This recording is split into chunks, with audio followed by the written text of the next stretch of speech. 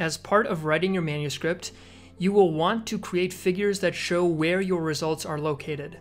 We have already seen how to view the results in the major fMRI packages, but if you like the MRIcroGL interface, you can view the results there instead.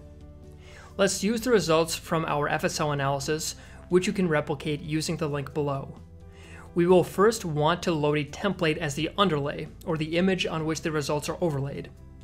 If you don't already have it loaded, click on File, and then Open Standard MNI 152, a widely used template in neuroimaging that is in standardized space. Next, we will want to overlay a results image onto the template. You can load any results you want. In this tutorial, we will load the threshold-free cluster enhancement results from the contrast incongruent minus congruent. Click on File, Add Overlay, and select the file all z stats randomized TFCE core P tstat1. Remember that this particular file shows 1 minus p values. In other words, if we set the lower bound to 0.95, we will only see those voxels that have a p-value of 0.05 or less. Set the value in the field next to darkest to 0.95 and you should see a thresholded image that looks like this. If you have the crosshairs centered at the peak of the cluster that you want, for example this one in the dorsal anterior cingulate cortex, you could remove the crosshairs by clicking the width down to zero, and then saving the image as a figure by selecting File, Save Bitmap. However, in this example, let's stay with this current setup and see if we can modify the image to make it more pleasing and informative to look at. For example, the default in many viewing software packages is radiological convention, in which the left side of the brain is on the right side of the viewer, and vice versa for the right side of the brain.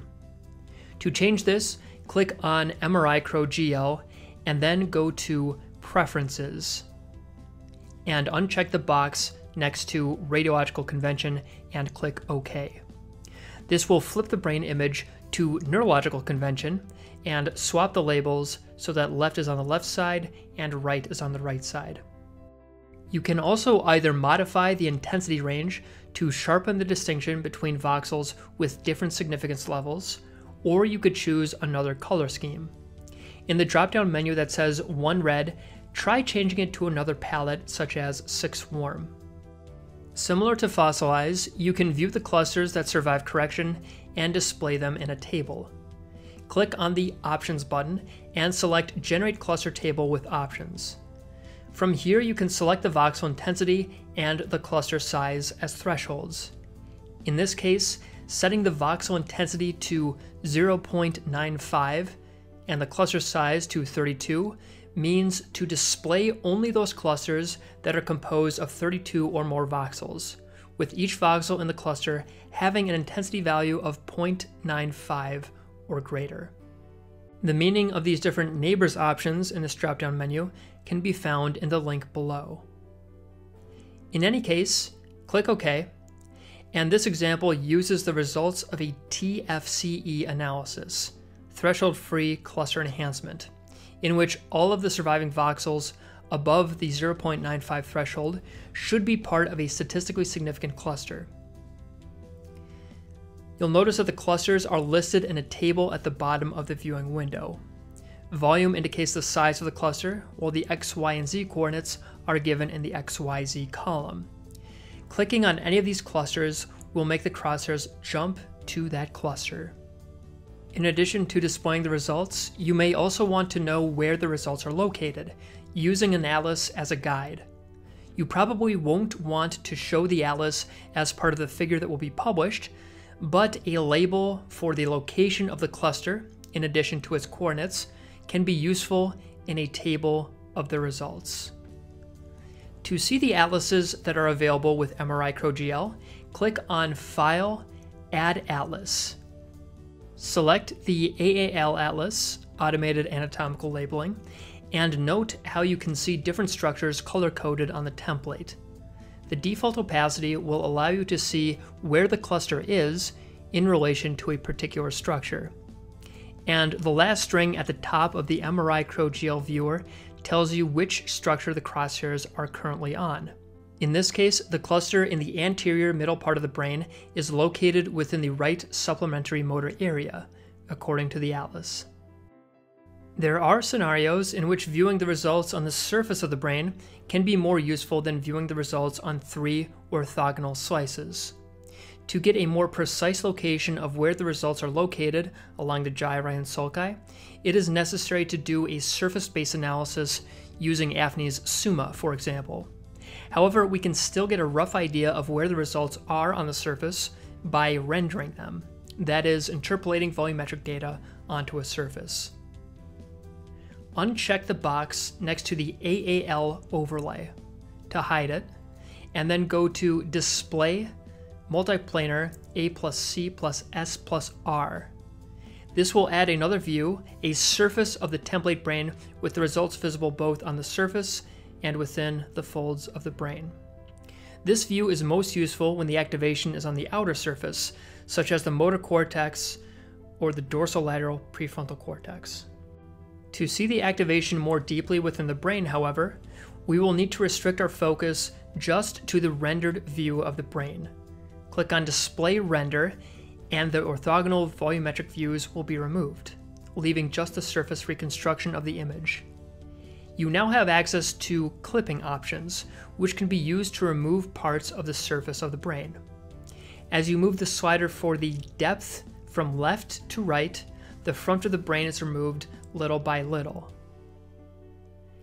After you've moved the depth slider about halfway down the scale, try moving the azimuth slider. It will twist the clipped area around the z-axis. Lastly, the elevation slider will move the clipped area around the y-axis. Experiment with all of them until you remove half the brain.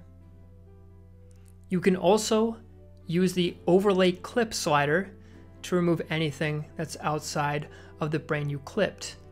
And the overlay depth will toggle the opacity of anything underneath the surface.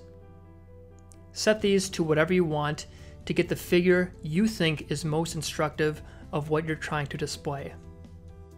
MRI GL can also be used to create regions of interest, or ROIs, also called volumes of interest, or VOIs similar to how we used tools in the other software packages to generate spheres for data extraction. For example, if we wanted to create a sphere with a radius of 5 millimeters centered at the coordinates 0, 20, 44, we would first set our view back to the three orthogonal planes, and then right-click and close until we just have the MNI 152 image. Enter those coordinates in the boxes below coordinates XYZ. These will be 0, 20, 44. Then click on Draw, Advanced, Automatic Drawing. The two fields, difference from origin and radius, specify how different a voxel's intensity is allowed to be from the crosshairs and the radius of the sphere, respectively. If you set the difference from origin to 100, for example, then any neighboring voxels that are within an intensity value of 100 will be added to the ROI. This can be useful if you want to restrict the ROI to a certain tissue type, such as neighboring gray matter. For now, set the difference value to 500, which should create a perfectly round sphere regardless of the tissue type it covers, and also set the radius to 5. Make sure the drop-down menu is at Append to Current VOI and you should see something like this. Click Apply. You can then save the ROI by clicking Draw, Save VOI, and saving it to wherever you want. In this case, I'll save it to my flanker directory and call it DACC. Many other ROI transformations, such as dilating or eroding the region, can also be found under the Draw Advanced menu. Having learned some of the features of MRIcroGL, you now have more choices in how you want to perform different tasks. Converting DICOM images, visualizing results, and creating ROIs to name a few. The software package also has other options for reorienting and resizing images, converting TIFFs to NIfTI, and many different display tools. I encourage you to explore them on your own and see which ones suit you best.